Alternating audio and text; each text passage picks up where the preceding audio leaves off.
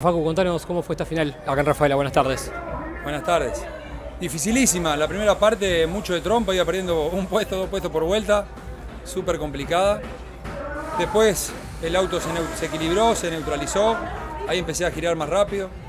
Y no sé en qué momento se pinchó la goma trasera izquierda, empecé a sentir raro el volante y, y bueno, eh, menos mal que llegamos, sumamos bien para el campeonato para acercarnos un poco, así que contento por eso.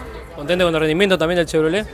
Sí, tuvimos un muy buen fin de semana, así que agradecido a cada uno de los que integran el RB Racing, con Roberto Valle a la cabeza, Lucas Valle, Juan Centurión, Pablito Palotini, Maxi Juárez, todos los mecánicos, Rodi Aguda, Alexis, Lucas, han trabajado mucho y bueno, empezamos a, a, a, ser más protagonistas, que es lo importante.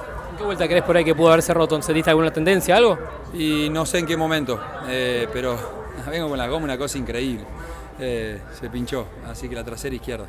Eh, una, una, una, sal bárbara, pero lo lindo de esto es que igualmente llegamos, sumamos, que, que es importante. ¿A pensar en posadas?